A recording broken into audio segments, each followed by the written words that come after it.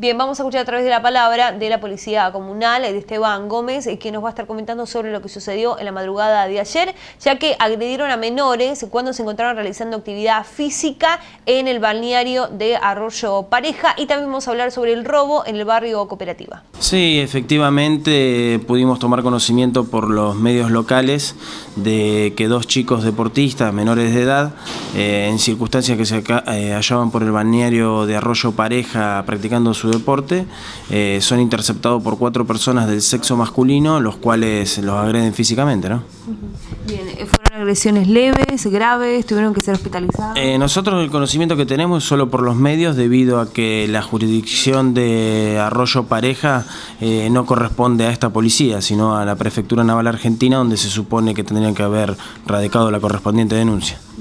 Bien, hubo un robo también en el barrio Cooperativa. Sí, sí, sí, ayer en horas de la tarde, eh, en el transcurso de la tarde, eh, se recibe una denuncia en esta dependencia en donde se narra el faltante de dinero, un poco de joyas y electrodomésticos en la casa del barrio Cooperativa, Casa 72, en donde bueno, el personal policial está trabajando, hay pista firme gracias a vecinos del lugar y bueno, pues estaría, tendríamos gente identificada en ese hecho, ¿no?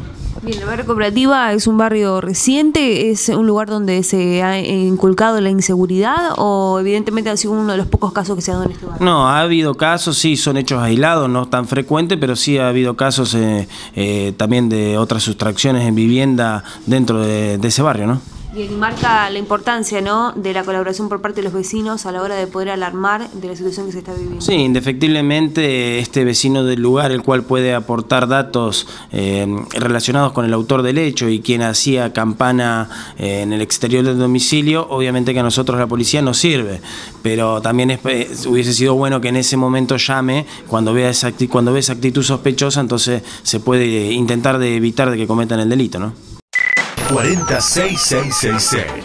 46666. Comunicación. La única manera de obtener lo que querés. Hacete escuchar. Contactate. Déjanos tu mensaje. 46666. Email info arroba c6n.tv. En la primavera 2013, tu mensaje es nuestra, nuestra voz. Canal 6 Noticias. C6n.tv. Estás informado.